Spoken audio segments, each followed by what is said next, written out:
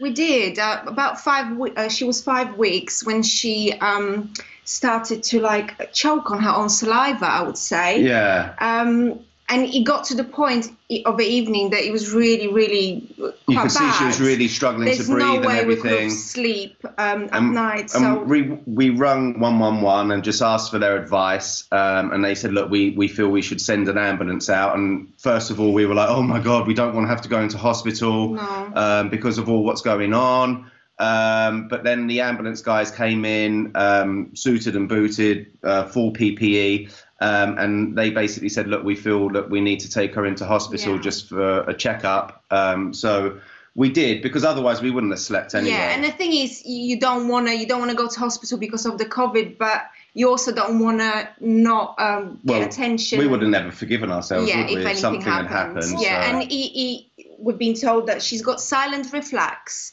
Um, so yeah. Yeah. it's she still struggles. so with after it. every feed, we have to hold her upright for at least half an hour. bless her, she's at her. asleep now. She was having a So meltdown just about ten minutes ago.